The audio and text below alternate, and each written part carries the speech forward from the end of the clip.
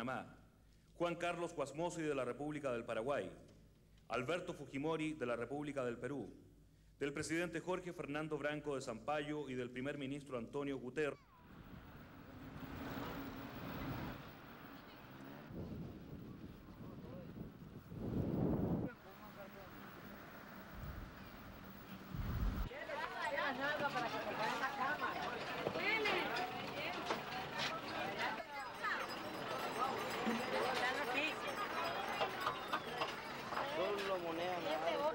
Bueno, lo come el que puede y el que se verguella, dicen. Y el que tiene dinero.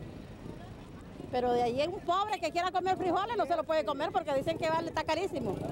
Por el momento nosotros estamos pasando una situación bien crítica debido a los problemas este, que se nos presentan sobre la sobre el costo de la vida. Este, los precios están altos, eh, la adquisición económica es nula. Hay, hay este, casas en que los matrimonios, ninguno de los dos está trabajando. Eh, la persona que, que, logra medio trabajar no le alcanza, no le ajusta para su para sus este, necesidades básicas.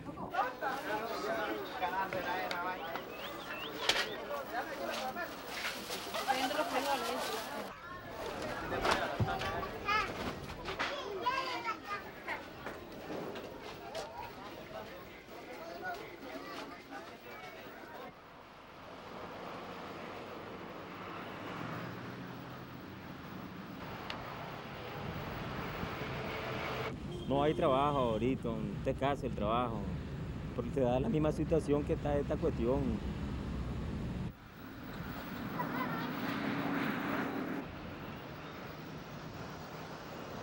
Estamos hablando de niveles de pobreza este, donde ya lo, lo, particular es encontrar gente no pobre, es decir, la pobreza está diseminada y dispersa a lo largo y ancho de todo el país. Si de estos son niveles eh, realmente preocupantes porque en, condiciones de extrema pobreza muy difícilmente la gente pueda por sí sola salir de ese estado de postración.